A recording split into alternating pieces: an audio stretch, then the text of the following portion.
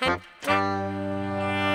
the African Style Festival. I mean, so what better day, time? We have the sunshine like we're in Africa.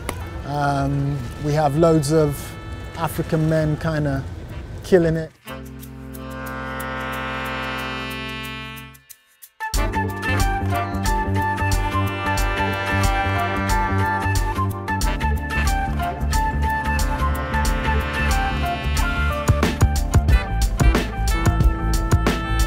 Dandies to me have always been the guys or that guy who has worn what he wanted when he wanted in his own personal style, regardless of trends, regardless of you know what was happening at that you know that moment.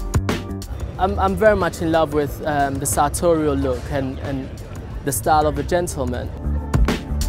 I mean, you can see people are making an effort to be more sartorial now. Everyone is trying to like wear a bit more of a jacket, more of a suit. If we're talking strictly about fashion, it's been an intrinsic part of who I am since I can remember. You're talking about Afro-Caribbeans coming from the boat, appropriating a British style, fused with an African style. It's a history of music. You're talking about diaspora, which is a history of the world. When you dress, when you take pride in your appearance, it's, it's a mark of respect for other people. Whether I'm a dandy, an urban dandy, a black dandy, I'll let others decide that. Me, I dress for me and try and have fun with it. I like to mix it up, you know, um, break some of the rules while respecting some others. I'm somebody who's passionate about what I wear. Um, I believe that my body is, is like a, a, piece of canvas and what I wear is, is my paintbrush.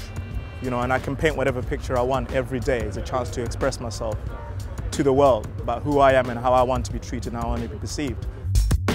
I'm Caribbean, I'm African, I'm English, and you see all that within me, hopefully. You know, I like to show a bit of class, elegance, as well as edginess in the way that I dress. I think that dandyism is something that should be celebrated, you know, within uh, within our culture a bit more, and and it's nice. It's nice to actually wear something that you feel good wearing, and you know, show out a little bit, be a bit flamboyant with it. I like to be the one that writes the book, not reads the book. So I'd rather create like you know the actual template for it, and then yeah, it became making my own hats, making my suits fit me the way I want to do, and then create the little brim and. My style is it's me.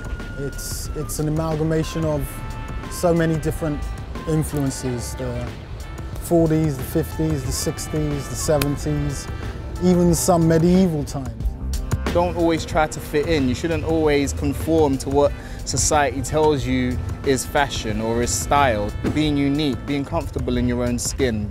Don't try and fit in, you're born to stand out.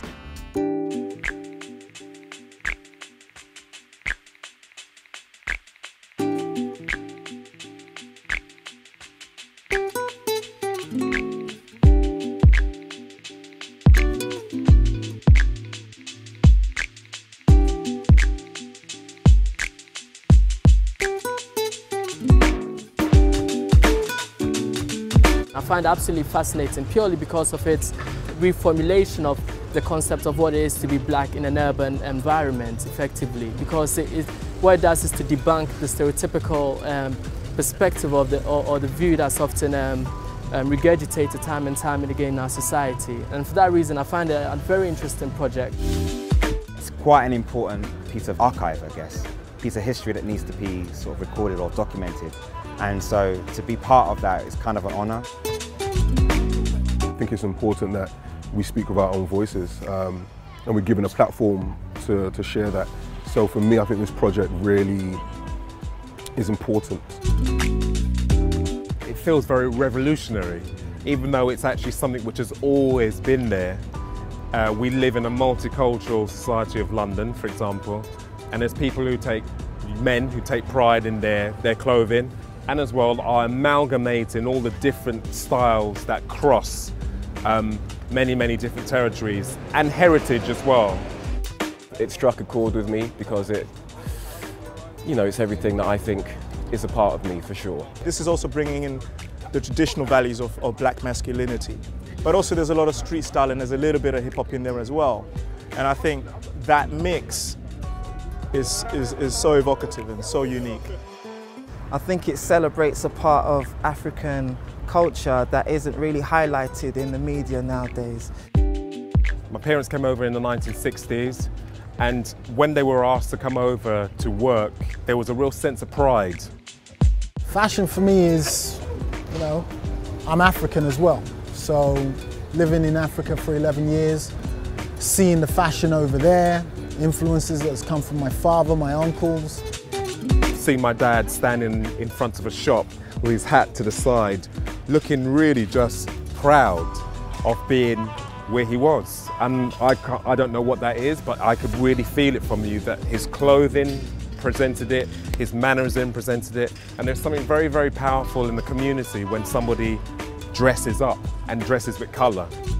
You know, Shaft in Africa played a major role. The whole kind of blaxploitation music that came out in the 60s. I can say my influence would be more from like the rude boy scene, going back from like the 50s, the 40s, ska, rocksteady. So if you want to bring it a bit more British, you had the mod style with the, when they used to ride the scooter bikes. They weren't riding the motorbikes, it was the scooters. There was just something a little bit more dandy about it.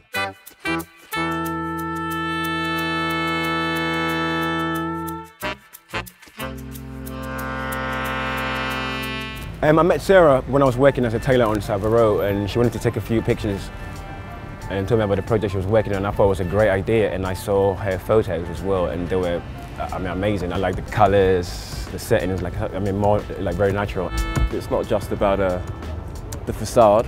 You know, she feels the subjects. The subjects are fully integrated into what she does. What really interested me about her work is that she gets under the skin of communities and people and I found that interesting and kind of trusted her approach. For one to have pride in their own appearance and to use clothes as a fashion sign to exude your, your mood and your, the spirit of the times, I think something that's fantastic and ought to be encouraged. You know, this is us here now.